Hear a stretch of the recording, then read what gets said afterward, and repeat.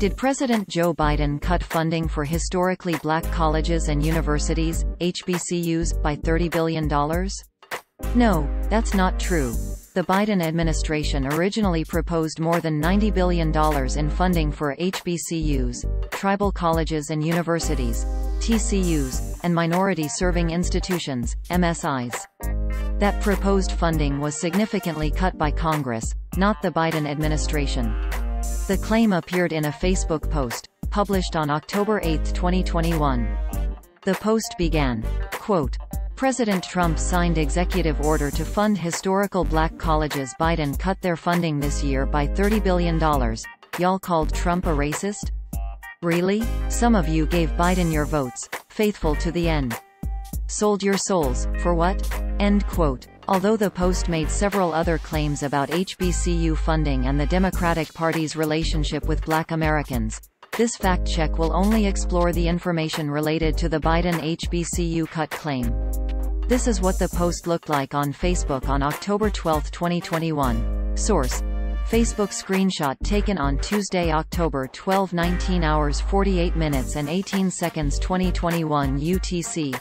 HBCUs are notoriously underfunded. Therefore, the institutions advocated heavily for the Fostering Undergraduate Talent by Unlocking Resources for Education, Future, Act. Former President Donald Trump signed the Future Act in 2019 which established mandatory funding toward HBCUs, TCUs and other MSIs. The act guaranteed a combined $255 million in funding for HBCUs, TCUs and MSIs. However, despite his suggestions otherwise, it appeared that Trump wasn't universally credited for creating the act, outside of signing it into law.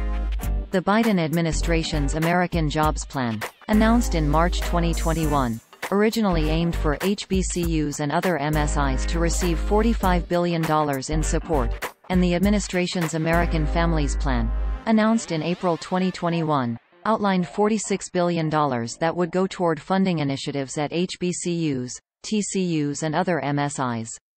However, the plans, especially the former, have been reworked through bipartisan negotiation.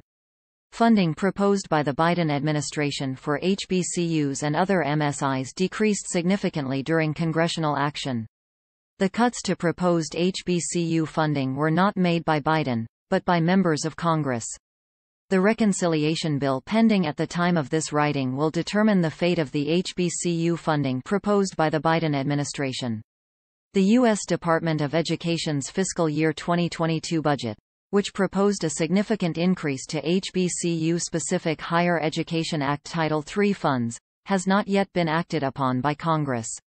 In a video call with Lead Stories on October 12, 2021, Lodriguez Murray, Vice President of Public Policy and Government Affairs for the United Negro College Fund, said, The President is not the government. He added, quote, Is it technically, generally true that the stuff was cut? Yes, but it's disingenuous to say that Biden did the cutting, because he did the proposing. Congress did the cutting. End quote. Murray explained that advocacy on behalf of HBCUs such as UNCF's letter writing campaigns is aimed at Congress because the legislative body holds the bulk of the power in determining what becomes law.